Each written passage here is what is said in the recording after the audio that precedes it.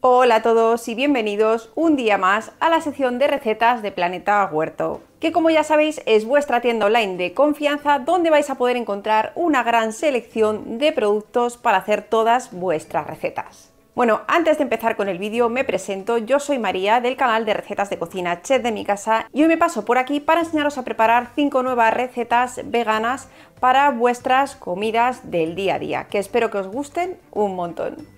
Y no solo eso, también os voy a enseñar cómo preparando una elaboración base la podemos usar para preparar un montón de recetas. De esta forma vamos a ahorrar mucho tiempo y trabajo en nuestra cocina. Pues vamos con la primera de las recetas que os voy a enseñar a preparar una tortilla vegana que queda increíble. Pues lo primero de todo vamos a empezar partiendo nuestras patatas y cuando las tengamos ponemos una sartén al fuego y añadimos aceite hasta cubrir la base de nuestra sartén. A mí personalmente no me gusta cubrir las patatas totalmente de aceite para hacer las tortillas. Creo que con ponerle esta cantidad es suficiente. Y cuando haya cogido temperatura añadimos las patatas, las salamos y le damos unas vueltas. Pues ahora las tapamos y vamos a dejar que se nos hagan hasta que estén tiernas. Eso sí, muy importante, les vamos a ir dando la vuelta entre medias para que se nos hagan todas por igual. Y para hacer la tortilla voy a usar una mezcla de harina de garbanzo y almidón de maíz. De esta manera vamos a evitar que tenga ese sabor tan fuerte a la harina de garbanzo, que es lo que no nos suele gustar de las tortillas veganas. Si lo hacéis como os estoy diciendo, vais a ver que vamos a conseguir un sabor súper equilibrado y que os va a saber realmente a tortilla de patatas como si lo hubiéramos hecho con huevos normales y vamos a poner 4 cucharadas de harina de garbanzo. Bueno, si os estáis fijando, las medidas las estoy tomando con una cuchara medidora. Si no tenéis una cuchara de este estilo, os la recomiendo muchísimo, porque para tomar ciertas medidas y que siempre sean las mismas, viene genial. Aún así, en la cajita de información os voy a dejar la cantidad exacta en gramos de todos los ingredientes que voy a usar. Pongo otras 3 cucharadas de almidón de maíz Y para darle el tradicional sabor a huevo vamos a usar el Kala Namak. Esto es una sal de roca que por su alto contenido en azufre nos recuerda tanto en olor como en sabor al huevo. Y si nunca habéis probado la sal de Kala Namak os la recomiendo muchísimo, sobre todo para aquellas personas que no consumáis habitualmente huevo. Esto va a darle ese sabor característico al huevo y aparte del sabor también le va a dar el olor y va a hacer que vuestras tortillas o revueltos estén muchísimo más ricos. Así que os lo recomiendo muchísimo. Y para darle un poquito de color le voy a añadir también una pizquita de esta cúrcuma que te viene con pimienta. Añadimos también el agua y todo esto lo vamos a mezclar muy bien con unas varillas hasta dejar de ver grumos y vais a ver que en el momento en que empezáis a mezclarlo os va a oler a huevo batido, pero vamos, instantáneamente y esto es gracias a la sal que estamos usando. Por cierto, la cantidad de sal es un poco al gusto, dependiendo de si queréis que sepa un poco más o un poco menos. Y cuando las patatas estén tiernas, lo primero de todo las vamos a escurrir para quitarles el exceso de aceite y luego las vamos a añadir a la mezcla que hemos preparado. Damos unas vueltas para mezclarlo todo bien. Probamos el punto de sal y si queréis es el momento de rectificarlo con un poquito más de sal normal o si queréis con un poquito más del calanamat. Terminamos de mezclar y ahora toca cuajarla. Si vemos que la sartén todavía tiene un poquito de aceite, la dejamos así y si no pues le vamos a añadir un poquito más de aceite para cuajarla. Esperamos a que coja bien de temperatura y añadimos la tortilla. Bajamos el fuego medio bajo y vamos a dejar que se nos cuaje unos minutos por uno de los lados. Cuando ya la veamos que está cuajada, le damos la vuelta y la vamos a dejar que se nos termine de hacer por el otro lado.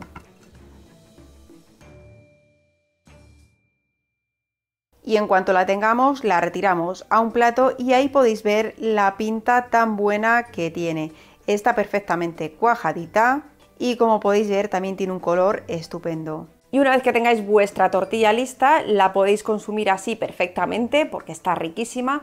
O si queréis meterosla en un bocadillo, también va a estar igual de rica. O otra opción es guisarla. A mí las tortillas guisadas me encantan y por eso os quería enseñar cómo la preparo para que toméis buena nota y lo hagáis en casa si queréis. En una cazuela plana ponemos como un par de cucharadas aproximadamente de aceite de oliva y vamos a añadir cebolla, pimiento verde, pimiento rojo, ajo y una hojita de laurel. Añadimos una pizquita de sal y de pimienta y dejamos que se sofría todo junto unos minutos hasta que tengamos toda la verdura bien pochadita. Cuando esté añadimos media cucharadita de pimentón, lo rehogamos unos segunditos y añadimos el caldo de verduras.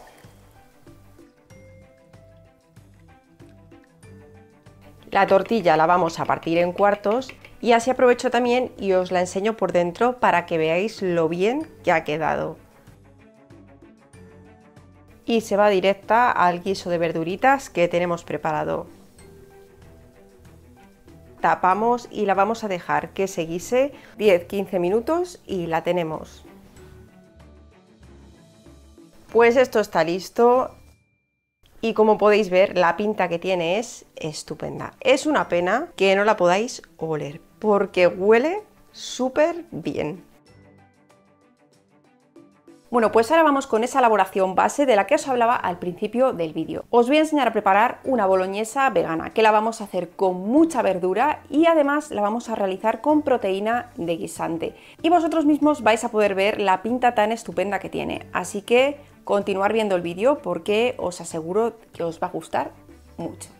Pues para hacer esta boloñesa vamos a empezar poniendo a hidratar nuestra proteína de guisante. Y os la quiero enseñar de cerca por si no la habéis visto nunca. Una vez que está hidratada se asemeja muchísimo en textura a la carne picada, con lo cual la hace perfecta para hacer infinidad de recetas con ella. Pues la vamos a colocar en un bol y la cubrimos con agua hirviendo.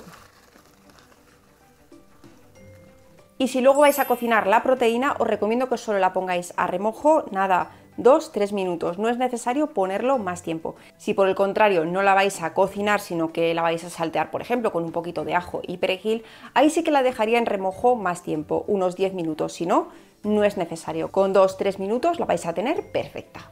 Inmediatamente la vamos a pasar a un colador para escurrirla muy bien.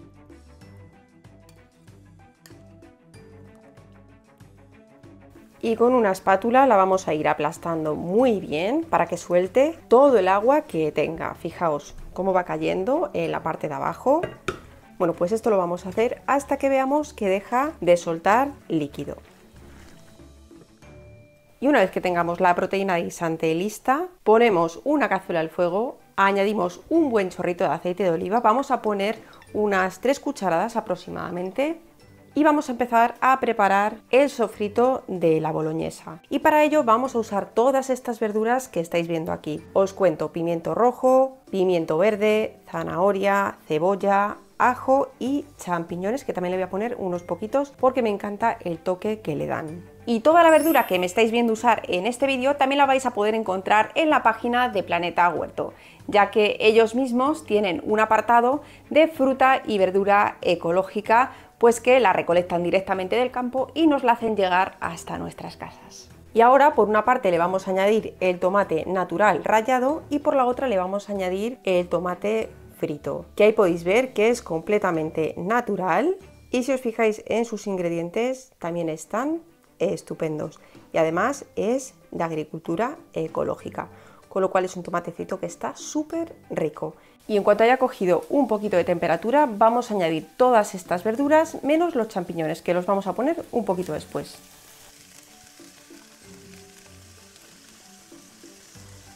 Ponemos un buen pellizquito de sal y pimienta negra recién molida. Y vamos a dejar que se nos salteen todas estas verduras juntas hasta que estén bien pochadas. Pues han pasado unos 15 minutitos aproximadamente, la verdura ya está lista y ahora vamos a añadir los champiñones. Y los vamos a dejar hasta que veamos que se hayan reducido. Nada, van a tardar muy poquito, ya lo veréis, apenas un par de minutitos. Incorporamos una cucharadita de pimentón, damos unas vueltas y ponemos el vino blanco. Dejamos que se evapore un minutito. Añadimos el tomate natural rallado. Esperamos 5 minutitos para que se nos fría y seguimos. Y a continuación vamos a poner el tomate frito. Y mirad, un truquito para aprovechar todo lo que se nos queda dentro del bote, que como veis ahí todavía quedan restos de tomate. Añadimos un poquito de agua dentro del bote, cerramos con la tapa, agitamos bien y ponemos todo ese agua dentro de nuestro guiso que además nos va a venir fenomenal. Y listo, ¿habéis visto qué limpito ha quedado el bote? Es la mejor manera de aprovecharlo al 100%. Y como he puesto dos tarritos, pues vamos a hacer lo mismo con los dos. Lo mezclo todo junto y añado la proteína de guisante. Y la integramos muy bien junto con la salsa. Y vamos a aprovechar también para probar el punto de sal y pimienta y si es necesario rectificarlo. En mi caso está perfecto y no le tengo que poner nada más. Y luego en este momento, si quisierais, también le podríais añadir unas especias, como por ejemplo orégano, tomillo, lo que queráis. Yo lo voy a dejar así porque, como os he dicho, esta boloñesa va a ser la base de tres recetas que vamos a preparar ahora. Y luego cada una de esas recetas irá alineada con sus especias correspondientes. Pues cuando la tenga así, la tapo y la voy a dejar que se me cocine a fuego medio bajo durante 10 minutos y la tengo. Y una vez que la tengamos así, pues está lista para realizar todas las recetas que queramos con ella. Y nos va a aguantar perfectamente 4 días en la nevera y hasta 3-4 meses en el congelador. Pues como veis es una receta estupenda para preparar en grandes cantidades y luego tenerla reservada en nuestro fondo de congelador pues para cuando queramos hacer cualquier receta. Y para que veáis lo versátil que es, os voy a proponer cuatro recetas diferentes a partir de esta boloñesa que hemos hecho. Y la primera receta que os voy a enseñar a preparar van a ser unos calabacines rellenos. Pues esta receta vais a ver que también es súper sencilla.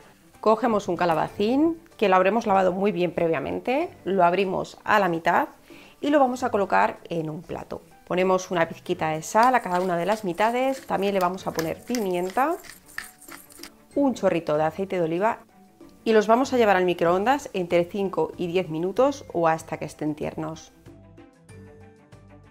Y una vez que los tengamos, vamos a retirarle toda la carne de dentro. Ya veréis que si el calabacín está tierno va a ser muy sencillo sacarle todo el relleno con la cuchara. Cuando estén, vamos a pasar los calabacines a una fuente que podamos llevar al horno y el relleno junto con la salsa que han soltado lo vamos a trocear bien con una tijera. Añadimos nuestra boloñesa que ya tenemos preparada. Y solo nos queda mezclarlo y ya tenemos nuestros calabacines prácticamente listos. Solo nos queda rellenarlos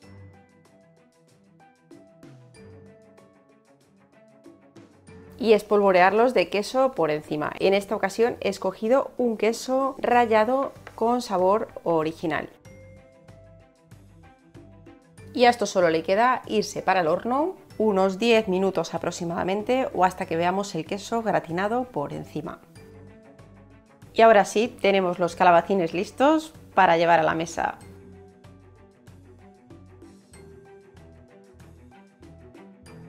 Pues ahora os voy a enseñar a preparar un pastel vegano con puré de patatas gratinado por encima que está increíble.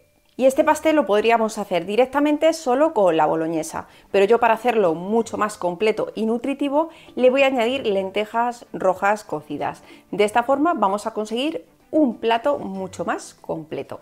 Pues lo primero de todo vamos a empezar cociendo unas lentejas para acompañar la boloñesa que ya tenemos preparada. Ponemos un cazo al fuego y añadimos una medida de lentejas por tres partes de agua o caldo de verduras como le estoy poniendo yo. Damos unas vueltas y si habéis añadido agua, ponerle una pizquita de sal. En cambio, si habéis puesto caldo, pues no es necesario que le pongamos nada. Tapamos y lo vamos a dejar que se nos cocine entre 10 y 15 minutos o hasta que estén tiernas. Y por otro lado vamos a ir preparando un puré de patatas. Como veis, yo ya he pelado y cortado las patatas en trocitos y se van para una cazuela junto con el agua y la leche. Y aquí podéis usar la leche de vuestra preferencia. Podéis usar avena, soja, almendra, la que queráis. Vamos a poner también una cucharadita de nuestra cúrcuma con pimienta, que ya veréis que esto le va a dar un sabor y un color muy rico a nuestro puré. Por último añadimos una pizquita de sal, damos unas vueltas tapamos y las vamos a dejar que se nos cocinen hasta que estén tiernas, entre 10-12 minutos aproximadamente. Bueno, pues las lentejas ya están perfectamente cocidas. Si os fijáis, se han desarmado incluso un poquito. A mí no me importa porque van a ir mezcladas junto con la boloñesa, pero si las quisierais más enteras, las tendríais que dejar menos tiempo cocinarse. Pues ahora las vamos a pasar a un colador para escurrirles el exceso de líquido y quedarnos solo con la lenteja por otro lado, en un bol pongo la boloñesa que ya tenemos preparada y añadimos encima las lentejas cocidas. Y ahora es tan fácil como mezclarlo todo junto. Bueno, y ya lo tenemos listo. Mirad qué pinta tiene, queda completamente integrado dentro de la boloñesa. Le va a dar un sabor súper rico y no solo eso, sino que vamos a conseguir hacer una receta súper completa donde no le falte de nada. Lo vamos a pasar a una fuente para poderlo llevar al horno. Lo repartimos y lo reservamos un momento mientras terminamos de preparar el puré. Bueno, pues una vez que las patatas estén tiernas, retiramos del fuego y con un presa patatas vamos a ir aplastándolas muy bien hasta tener un puré.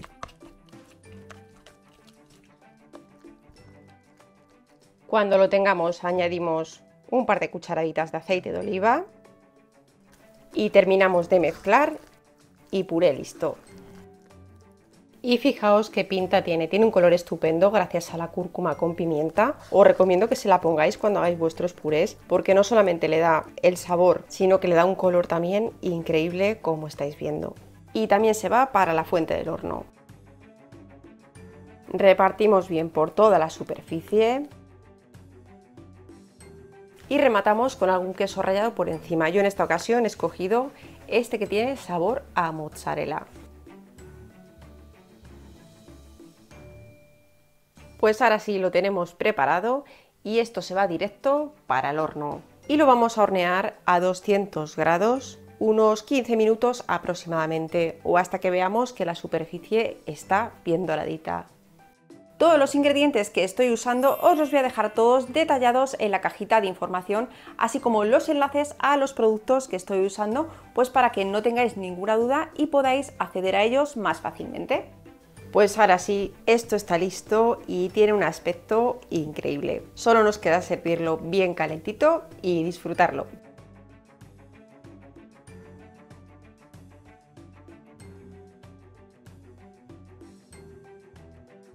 Pasamos a la siguiente receta que os voy a enseñar a preparar un chili con boloñesa y alubias pintas que vamos a acompañar con nachos y guacamole. Pues vamos a empezar poniendo apenas una cucharada de aceite de oliva en una sartén y añadimos el comino y si os gusta el picante os recomiendo que también le pongáis una cayena que la vamos a desmenuzar un poquito con las manos. Damos unas vueltas y esperamos a que empiece a soltar el aroma el comino. En ese momento vamos a añadir nuestra boloñesa que ya tenemos preparada. Ponemos también un poquito de ketchup y añadimos las alubias que fijaos lo único que he hecho ha sido escurrirlas un poco y aclararlas bajo el agua para retirarles el líquido en el que te vienen conservadas aunque perfectamente podríamos haber echado directamente las alubias tal cual vienen en el bote ya que son de agricultura ecológica las pongo junto con el resto y lo mezclo todo junto. Pues como la boloñesa ya está cocinada y las alubias también, Simplemente lo voy a tapar, lo dejo que se cocine todo junto 5 minutitos y lo tengo.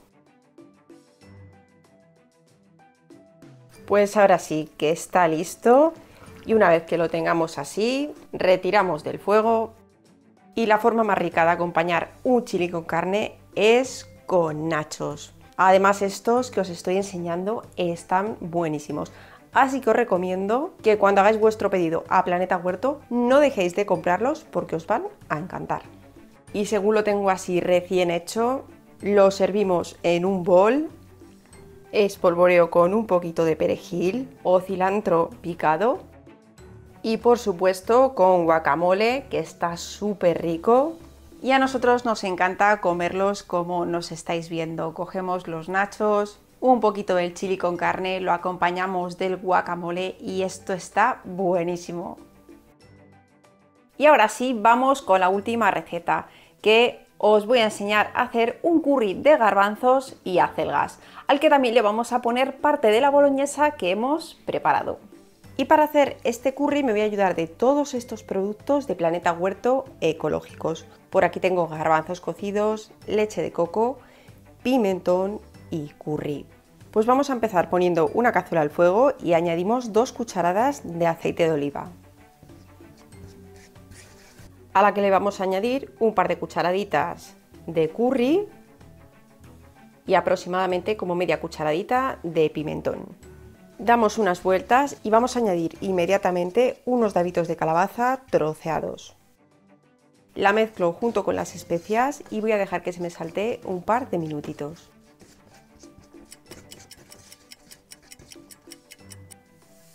A continuación añadimos nuestra boloñesa que ya tenemos preparada, damos unas vueltas para mezclarlo todo junto.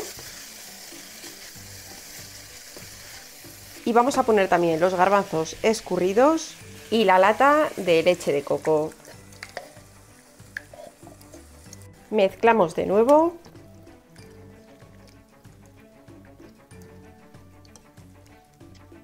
Y también le voy a poner unas hojitas de acelga frescas que tengo troceadas. Ya veréis que aunque ahora parezcan muchas, enseguida bajan de volumen y se quedan en nada. Mezclamos otra vez bien para que se integre todo junto. Y ya tenemos nuestro plato prácticamente hecho. Como veis, también es otra receta súper sencilla que se hace en un momento si tenemos una elaboración base ya preparada. Pues ya han reducido bastante, todavía les queda un poquito y le vamos a poner un pellizquito de sal y pimienta al gusto. Mezclamos para repartir las especias, tapamos y vamos a dejar que se cocine todo junto durante 10 minutos a fuego medio bajo. Pues ahora sí que está listo, curry terminado y listo para servir.